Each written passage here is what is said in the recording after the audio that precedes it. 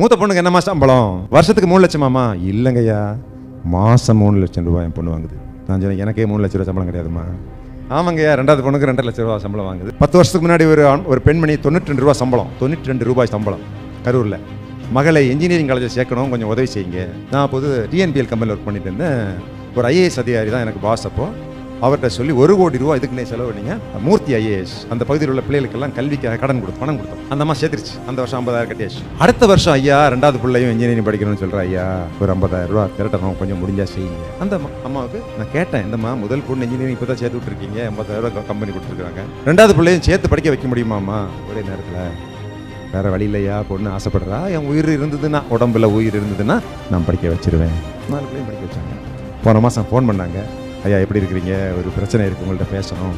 எப்படிம்மா பிள்ளைங்களாம் இருக்கிறாங்க? நல்லா இருக்கிறாங்க ஐயா. ஐயோ சொல்ல மறந்துட்டேன் மறந்துட்ட பிள்ளைங்களாம் நல்லா இருக்கிறாங்க. பொண்ணு நம்ம சென்னையில் இருக்கிறா. பெரிய கம்பெனியில் ஒர்க் பண்ணுறேன் நம்ம கம்பெனி பேர் சொன்னாங்க. ரெண்டாவது பொண்ணு பெங்களூரில். சும்மா ஆசை. உங்களை மாதிரி தான் பிளேஸ்மெண்ட் பிளேஸ்மெண்ட் அடுத்த கேள்வி?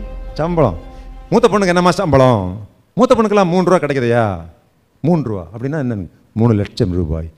வருஷத்துக்கு மூணு லட்சமாம்மா? இல்லைங்கய்யா மாதம் மூணு லட்சம் ரூபாய் என் பொண்ணு வாங்குது. நான் சொன்னேன் எனக்கே மூணு லட்ச ரூபா சம்பளம் கிடையாதும்மா. ஆமாங்கய்யா ரெண்டாவது பொண்ணுக்கு ரெண்டரை லட்ச ரூபா சம்பளம் வாங்குது. கல்யாணம் நல்லா இருக்கிறாங்க. ஐயா ரொம்ப தேங்க்ஸ் ஒரு அம்மா அப்பாவோட உதவி இல்லாமல் ஒரு நாள் தொண்ணூற்றி ரெண்டு ரூபாய் வேணாம் நான் அட்ரஸ் தரேன் அந்த மாதிரி நம்ம பேசியிருக்கேன் தொண்ணூற்றி ரெண்டு ரூபா சம்பளம் வாங்குகிற ஒரு தாயார் ரெண்டு பிள்ளைகளை இன்ஜினியரிங் படிக்க வச்சு முதல் பொண்ணுக்கு மூணு லட்சம் ரூபா சம்பளம் வாங்கி சென்னையில் ஒர்க் பண்ணுது. அவர்கள் தங்களது கடமையை செய்து முடித்தார்கள். ஸோ ப்ளஸ் டூ படிச்சு கல்லூரிக்கு போகக்கூடிய நாலு லட்சம் மாணவர்களே பிகைண்ட் மூலமாக கேட்குறேன். நீங்கள் உங்கள் கடமையை செய்ய தயாரா? செஞ்சிட்டிங்கன்னா தமிழ்நாட்டில் கல்வி தரம் உலக தரம். நான் வந்து கார்ப்பரேஷன் ஸ்கூலில் தான் படிக்கிறேன்.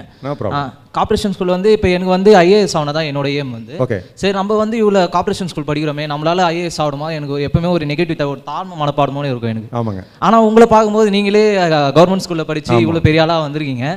அவங்கள பார்க்கும்போது எனக்கு ஒரு இன்ஸ்பிரேஷனாக இருக்குது அது மட்டும் இல்லாமல் உங்களோட லைஃப்பில் நடந்த ஒரு இன்சிடெண்ட்டை வந்து எங்களை எல்லாருக்கும் ஷேர் பண்ணிங்கன்னா எங்களுக்கு கொஞ்சம் மோட்டிவேட்டாக இருக்கும். நான் ஒரு கவர்மெண்ட் ஸ்கூலில் படித்தேன் எனக்கு ஆங்கிலம் ஓரளவுக்கு வரும் ஆனால் அவ்வளோது வராது.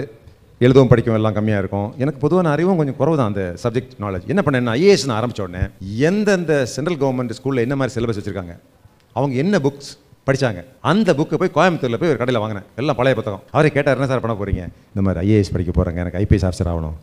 அப்படியா சார் எல்லாத்தையும் எடுத்துகிட்டு போங்க சார் நான் காசே வாங்கலைங்க. நான் ஐபிஎஸ் வாங்கின பிறகு அவரை போய் கண்டுபிடிச்சி காசு கொடுத்தேன். ஸோ என்ன பண்ணேன்? அந்த என்சிஆர்டி புக்ஸ் எல்லாம் வாங்கி அந்த புத்தகத்தை ஒரு பத்து முறை படிக்கணும். எத்தனை முறைங்க? பத்து முறை. ஒரு புத்தகத்தை பதினேழு முறை படித்தா தான் அந்த புத்தகம் நமக்கு நல்லா புரியும்னு ஒரு அறிஞன் சொல்கிறான் அந்த புத்தகங்களை பத்து முறை படித்தேன் அதாவது நான் வந்து கவர்மெண்ட் ஸ்கூலில் படித்தேன் இந்தியாவில் எந்த ஸ்கூலில் படித்தவனாக இருந்தாலும் அவனுக்கு சமத்துக்கு சமம் அப்படின்னு நான் வரணுங்கிறதுக்காக அவன் படித்த புக்கெல்லாம் திருப்பி படித்தேன் அப்போ வந்து அடித்தளம். இந்த பில்டிங் கட்டுறதுக்கு ஒரு ஃபவுண்டேஷன் அதுக்கப்புறம் இம்ப்ரூவ் பண்ணிக்கலாம். ஒன்று நம்பர் டூ நியூஸ் பேப்பர் படிக்கணுங்க. நியூஸ் பேப்பர் ஒரு மணி நேரம் ஆராய்ச்சியே பண்ணணும். சில ஆண்டுகள் ஐஏஎஸ் கேள்வி கேட்டிங்கன்னா நியூஸ் பேப்பரில் அந்த மேட்டர் தான் வரும். செய்தித்தாள் இப்படி செய்தி வந்திருக்கு அப்படின்னு ஆரம்பிக்கிறான் கேள்வியே. ஸோ அந்த மாதிரி ஜெனரல் நாலேஜ் நம்பர் டூ இங்கிலீஷில் essay writing essay writing skill ஏன்னா மெயின் எக்ஸாமினேஷன் ஃபுல்லாக கட்டுரை கட்டுரை. ஐம்பது வார்த்தைகள் எழுதணும் ஐநூறு வார்த்தைகள் எழுதணும்.